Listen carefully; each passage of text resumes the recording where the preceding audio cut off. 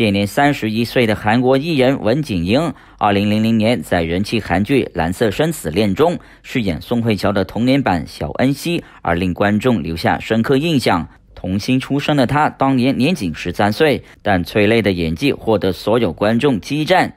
不过，文景英在前年二月不幸的患上急性骨筋膜式综合症候群，如果不及时医治，严重者或会因组织坏死而需要截肢。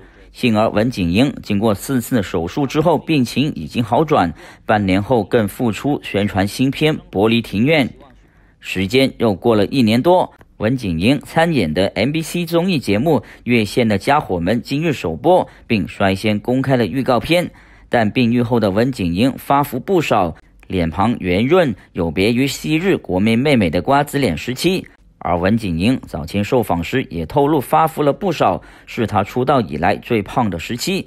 不过粉丝们当然宁愿偶像胖一点，也不想文景英再遇到各种疑难杂症。魔方传媒综合报道。